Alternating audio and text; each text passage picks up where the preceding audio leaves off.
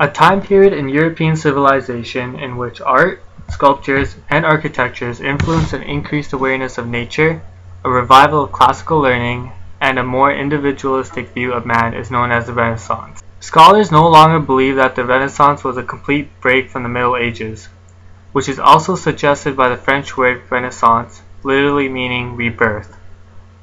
This is because historical sources show that interest in nature Humanistic learning and individualism was already present but became more dominant in the 15th and 16th centuries. Artists have taken these new interests and have created many valuable paintings to show the world. Giovanni Bellini, an Italian painter, is someone who valued these interests and demonstrated them in his paintings. He was born in 1430 in Venice, Italy. He is considered to be the father of Venetian Renaissance and he is known for his ability to convey human emotions through his paintings. Bellini was not isolated from other artists across Europe. He studied the style of Northern European painters, and also his pupils helped him further his own skill. His early works were similar to his father's Jacopo and brother-in-law's Mantegna, especially with its delineated figures and rocky landscape. Mantegna was an influence on Bellini. His art style was supremely structural with bold contour lines. His influence on Bellini is apparent in the painting The Agony of the Garden. The painting shows Jesus praying in the Garden of Gethsemane while three of his disciples, Peter, James, and John, sleep. An angel reveals a cup and a paten, symbols of his impending sacrifice. In the background, you can see Judas approaching with the Roman soldiers who will arrest Jesus. This painting is abundant in the color brown. Different shades are used so that the viewer can distinguish between the winding and twisting paths and also the natural rock formations. In the background, the light of dawn is emerging in the distance to show light upon Jesus and his disciples. This is so that it illuminates the feature of the individuals to express their emotions. Bellini used the foreshortening technique, which is adding depth to a painting by creating an illusion that is three-dimensional, and it can be seen in the rock formation.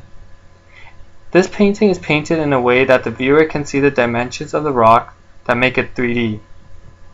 He also used perspective, which can be seen as the Roman soldiers are smaller because they are further back, compared to Jesus and his disciples who are bigger and up close. Even though the Renaissance period started to focus more on literature and art, adapting and adopting the medieval vision, religion was still a focus and is reflected in the artwork.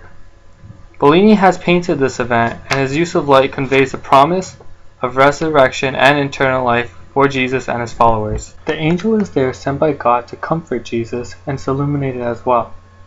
This is because Bellini wants to express hope.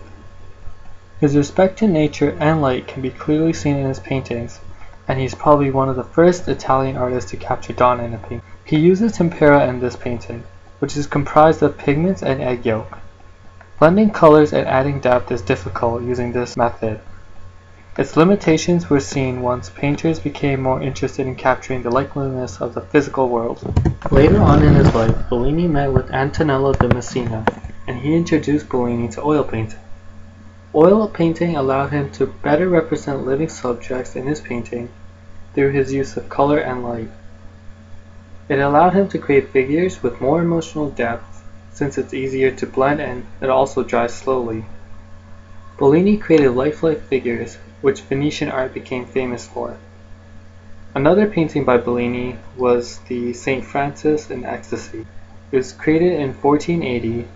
This painting shows St. Francis rendezvousing with the sun. The sun is not shown in the painting, but it's where the rays are hitting that can be seen. The rays touch every corner of the landscape, as it can be seen by the shadows. The man is easily recognized as Saint Francis because of his cloak and tonsure. Viewers can also notice the wounds of crucified Christ on his hands. The use of color in this resplendent artwork has been used to show importance in nature. The blending of colors in the trees, the different shades of gray used in the rock all contribute to making the painting as real as possible.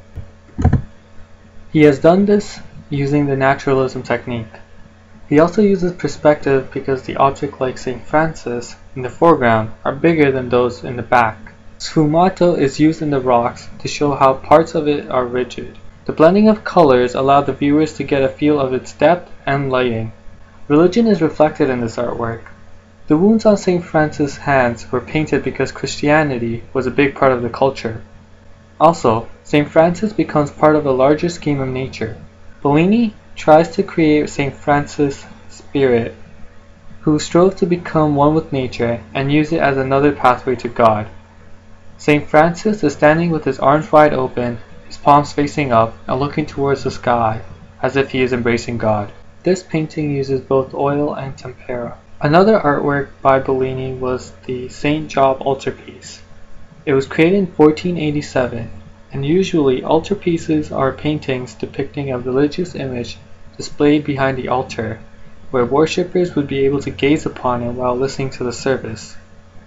The idea behind this painting was to include the Virgin and Child in fellowship, and several saints, as if they are holding court. There are eleven figures in the lower half of the painting, while the upper half focuses on architecture, including crafted vaulted ceilings, gilded domes, and carved marble columns.